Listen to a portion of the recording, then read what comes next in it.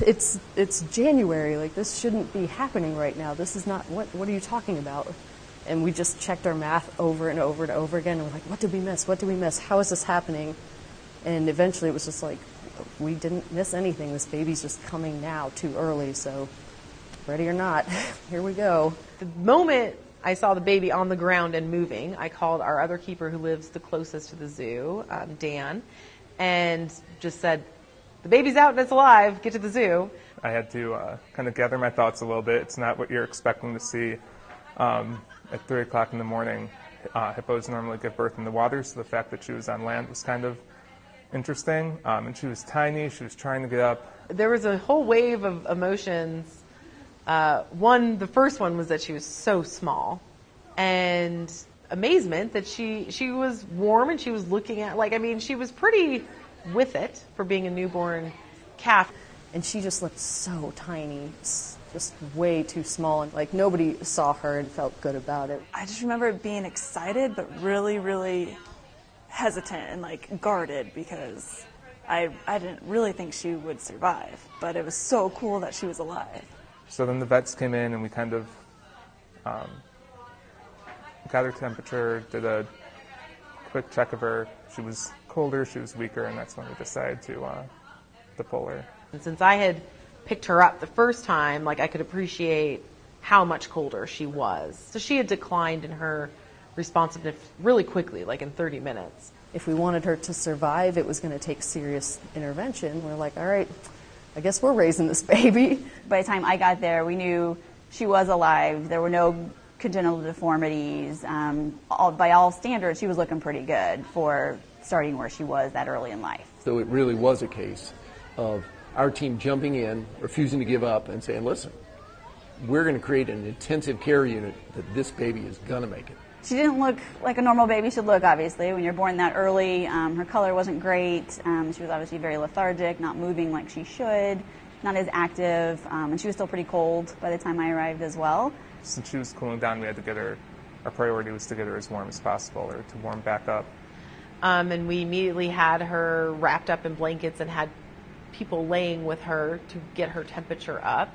We were spending a lot of time in a 98 degree room, sweating and, you know, trying to make sure that she's still breathing. Just not a lot of energy, not able to support her weight, so this will all take time and hopefully everything turns out well. Six weeks is pretty early. And nursery staff, Dawn, who's great, was trying to see if she would start to nurse a little bit. So we were trying to get some some Pedialyte into her. There's just basic care that all mammals need. So we wanted to know was she able to breathe? Was her heart okay?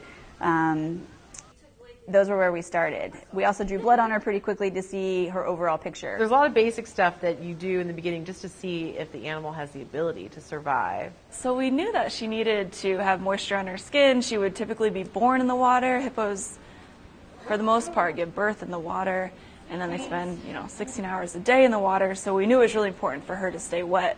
We had to keep IVs in her, which she has to be dry to have an IV in her leg, yet she needs to be wet all the time because her skin will dry out and it causes dehydration and other problems. So we had to come up with ways to keep her dry and yet keep her moist all at the same time. I think I had to work out or reach out to an orphanage in Africa, a rhino orphanage, that had some experience with hippos, and they kind of recommended some lotion that they used that seemed to work well on hippo skin. And then it just gets more and more complicated. Because oddly enough, those first day or two, you're, you're just trying to assess if the animal can survive and keep it alive. But then it's like, okay, well, it can. How do we keep it alive now? I mean, we had aquatics coming in, trying to help set stuff up for this makeshift hippo nursery that we were trying to um, put together. Um, maintenance was helping out, vet staff, nursery. Um, the entire Africa staff was doing everything that they could because um, everyone wanted to make sure she was okay and be involved, but we also had the entire rest of the collection to take care of. So it was a it was a real team effort to try and get everything under control. Eventually, she was put on oxygen, and we had to make sure that this thing that's made for human noses is staying in a hippo nose. The main focus, the first, was just keeping her keeping her stable. Any little change that happened with her texting or calling the vet staff to see if it was normal at all, all hours of the night. She was premature in every sense of the word. So she wasn't ready to be out in the world. So she wasn't ready to thermoregulate. Um, she had no suckling response, so she wasn't ready to feed herself. Um, and her lungs weren't totally developed um, in a way that would allow her to act like a normal hippo. So that was our first big hurdle was keeping her warm and getting her temperature up to the 98 to 100 degree range, which is normal for a hippo. And that took several days, and, and we got that conquered. Um, we were able to use a tube to feed her directly into her stomach. exactly what needed to be done, and I understand that, but it was not fun to watch, and I would hold my breath the entire time. It was about t- two and a half weeks that we tube fed her. And initially, she wouldn't digest that food, so we had to do a lot of tweaking with that. We had the formula figured out by really within the first uh, week to 10 days, but really within the first week, we had a basic formula. We just had to tweak it a little bit down the road. And she started digesting the food, so that was great. A little over a week of age, almost two weeks of age, when she really started getting strong enough to be able to take in pretty good volumes from the bottle. But it was uh, two to three weeks before we were able to stop tube feeding her. And then she started holding her breath, which was terrifying. and she would not open her nostrils. She was closing her nostrils and she wasn't moving, and it, it went on for minutes. I was starting to kind of freak out. Hippos have a dive reflex, which allows them to stand underwater. An adult hippo can stand underwater for about five minutes. Calves can be born in the water because they can hold their breath for about 30 seconds when they're born. And Fiona, in her uh, sleep, started holding her breath, which we can only assume was her practicing that dive reflex. So it was a couple seconds from calling the vets, and she finally opened her nostrils and took a breath. And I was like, oh my gosh, I can't handle much more of this. Like, please never do that again. Aside from terrifying us and looking like she had died and wasn't breathing anymore, even when she would start breathing again, um, her her blood values and her general demeanor was diminishing. was very hypoxic, her, her, meaning her tissues didn't have the, the oxygen they needed, and she would um, get weaker and weaker throughout the day. Um, so we had to figure out a way to get her to try to stop doing that, or at least do it less often. Which our um, head neonatal keeper, Dawn, had the idea of, well, a baby hippo would be laying on her mom, so let's lay her on us and let her feel us breathing, so she knows to keep taking normal breaths. She actually started getting energy. Um, she started to have a suckling response, so she could take her own bottle. It wasn't long after that that I think she stood for the first time overnight when she was with Teresa. Teresa sent that video image out to all of us and like wobbly little Fiona like trying to walk around for the first time. She was just so wobbly, and she was so small at the time. Once she was strong enough to be able to walk, then you got this extra sense of hope where, okay, now, now she's, you know, she obviously made a progression. I don't, I don't want to get too excited, but this is adorable and amazing. So that for me was a big turning point where I, instead of just like being like, we might pull this off, that's when I started finally like daring to believe that we could. Definitely once she started to get a little bit more mobile, that was a blessing and a curse as far as trying to keep the catheter and everything in her that she needed. She would fight back more with the tube feeding. Um, so she was looking a lot like a very tiny but normal hippo developing the way we would like to see. Um, and then she started teething. And then she was in so much pain, we believe she stopped wanting to nurse. And then, of course, she's not getting nutrients and became dehydrated. Her mouth hurt, she didn't want to eat at all. So even with tube feeding, she became much more lethargic. Her blood work was showing some, a little, bit of signs that were a little bit concerning. Nothing that showed infection or anything horrible, but she just um, we knew we needed some extra help basically at that point. She wasn't she wasn't clicking along like she had been um, in the days prior to that, and um, we needed to get a little bit more aggressive with our therapy. Because she was so dehydrated, her veins were even harder to find.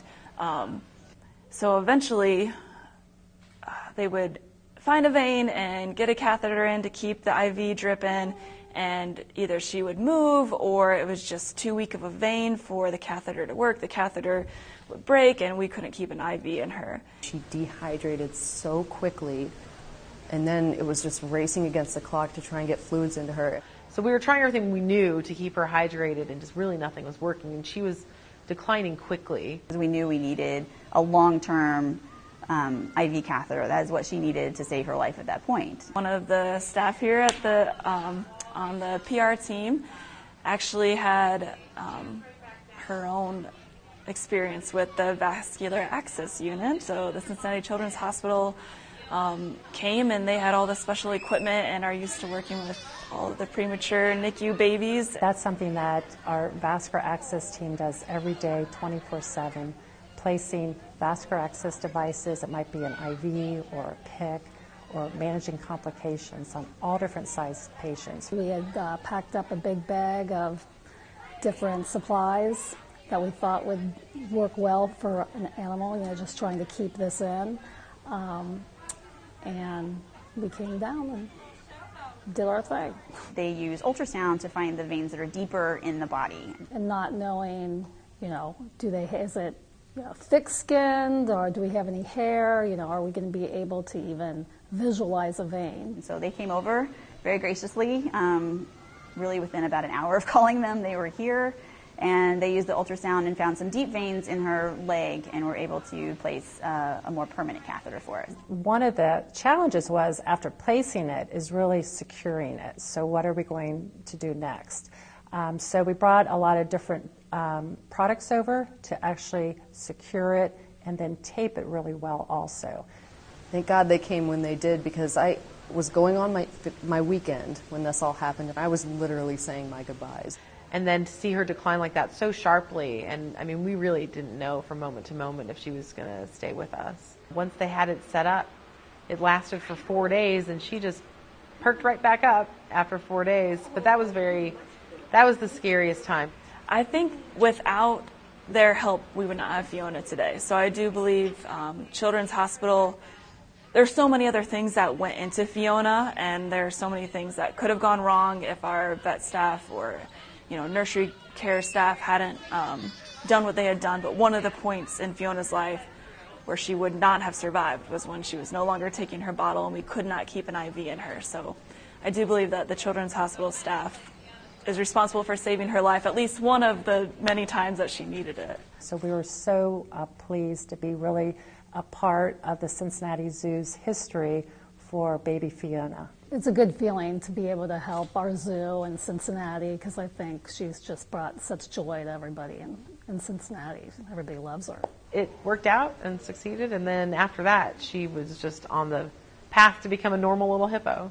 I knew it was serious at the time, but at the same time, um, it was just you have a job to do. Don't think about she's she's going to die or she's going to make it. Just go day to day to day. Don't think down the road too much. Let's get through this problem, and um, everything works out, you get to the next problem. Everything works out, you get to the next problem. You just um, tackle it one day at a time, and it's not quite so overwhelming when you approach it from that standpoint. You always try to keep in the back of your mind that things could go wrong, um, but we did everything that we could, constantly collaborating and talking things out. You know, one of the neat things about Fiona and the, the big task of saving her initially and then raising her it really was all hands on deck. All kinds of people got involved. Well, Cincinnati is, I think, remarkable for its community and how, I mean, it's a city, it's a major city, and it acts like a small town. Everyone comes together um, and will do anything that's needed for each other. So it was unique for Children's Hospital to come over, but also very normal in the Cincinnati context of like, they're our neighbors and they helped us out. Fiona's taught us along the way too. She really has about not giving up, and uh, that sometimes you know uh, that much love and concern can save the day.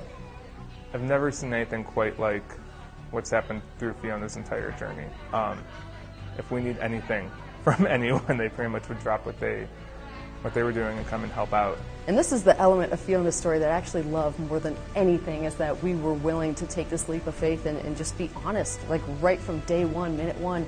Here's what happened. We had a baby, it's way too small, it may not make it. Here's what we're doing, we're hoping for the best. And um, just kind of putting it all out there. And I think the hope was that people would see that transparency and see everything we were doing for her and ultimately be supportive and understanding no matter how it turned out and we got that like a hundredfold. I mean, people were so amazing and so supportive, and that really helped a lot. It was so nice to just have all that overwhelming love and support and encouragement, and that's what got us through the really tough times. I think more than anything. Once you got past that intensive care unit phase, you know, if you look back, Fiona launched from there. Nature's built to be resilient and to live, and you know, she's shown us how strong a hippo can be.